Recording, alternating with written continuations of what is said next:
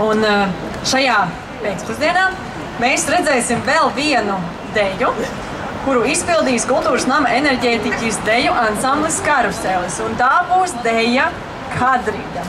Deju ansambļa vadītāja Tamāra Eiferova.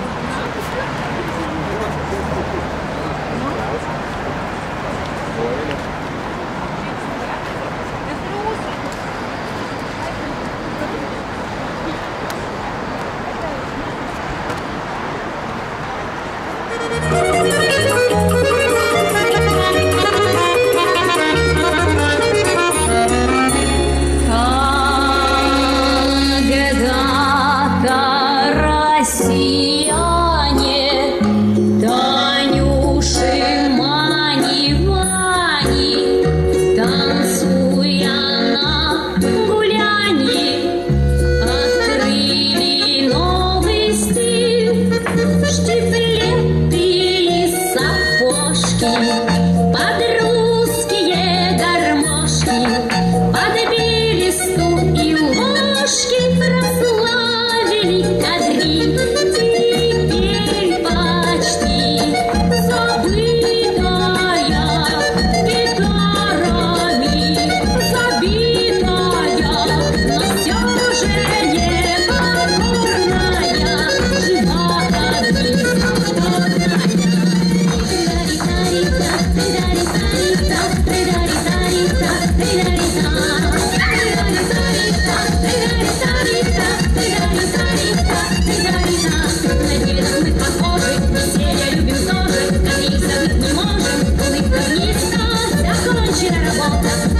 Krishna